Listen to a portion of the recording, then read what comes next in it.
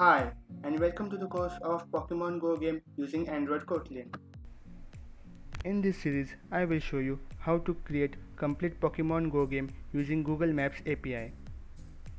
We will create the user which can be represented with the Mario and when we click on the user, it will show the current location of the user with the username. And from zoom out button, you can zoom out the map and see where the Pokemons are located nearby you.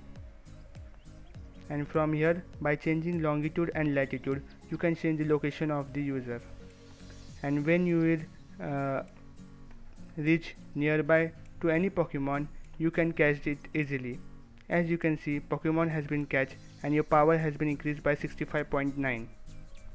In this way, you can catch the multiple Pokemons and increase your power and play a game. So this is an amazing game where you just have to move and catch the Pokemons. Uh, you can add multiple Pokemons as per your wish, uh, whatever you want, and name them. For example, I had name here with the description how much power it contains. Uh, in this series, I will show you step by step how to add the Pokemons, how to add players, how to use Google Maps API, uh, step by step. Hope you like this course Keeping in mind for beginners, the course has been divided into 6 sections. The first section has been completed today which was an introduction section. The second section contains the setup of the project and how to use Google Maps API.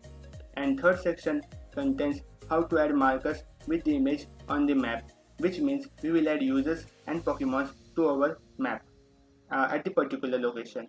And fourth section contains uh, request on runtime permission whenever we change the longitude and latitude of the user at that time the image of the user which is Mario should move as per the dimensions and now next section is section 5 in which we will show the current location of Pokemons as well as user on the map and last section is section uh, 6 in which we will place the Pokemons and catch them by the user.